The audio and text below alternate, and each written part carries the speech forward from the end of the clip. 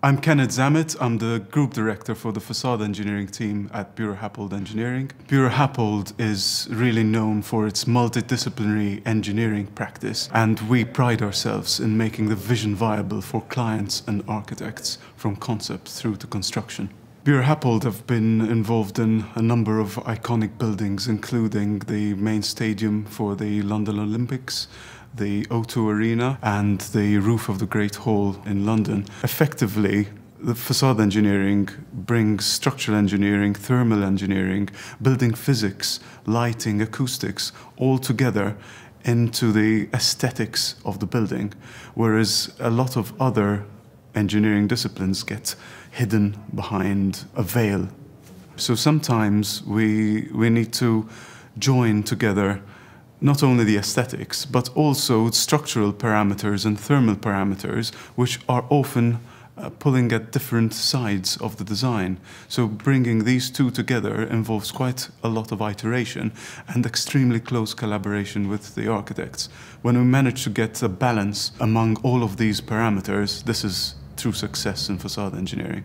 Over the past few years, I've seen quite a change in the demands of the aesthetic appearances by architects. I see architects looking for depth in the expression of a material finish. We can see new products being developed, particularly metallic products, which can achieve much more depth. Architects are always on the lookout for the new, the innovative look on a building and material finishes and depth in the way the light interacts with the facade and the finish, particularly as a person walks by the building and looks at it. It's about dynamic appearances and change, but also dynamics in terms of the light interacting with the facade during the day, the night, and different seasons, which can have such a striking effect on a building. The use of steel in door and window components offers insulation and strength even under fire conditions, which few other materials can offer, which is key because facade elements need to be fabricated to very exacting tolerances. This is an example of a fire-rated door product, which shows not only the complexities of the formation of the steel product, and the fabrication process, but also the composite use of different materials, the plastics used, for example, to improve thermal performance.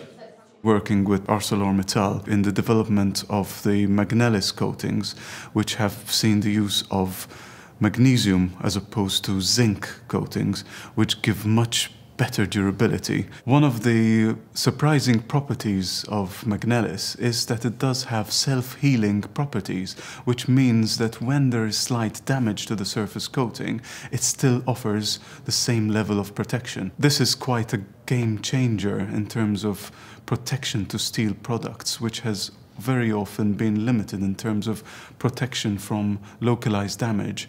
If there were one thing on my wish list that I could have in terms of pushing forward the boundaries of facade engineering is really a commercially viable option for 3D printing of components. I see great potential for steel, particularly in the area of life cycle costing of materials.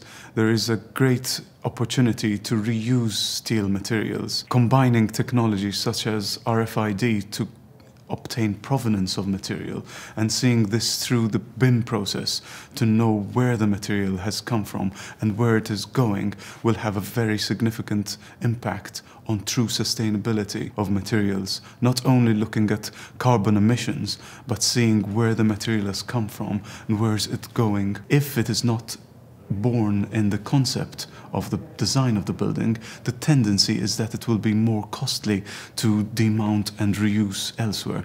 So we need to be thinking of this at the earliest stage of concept design.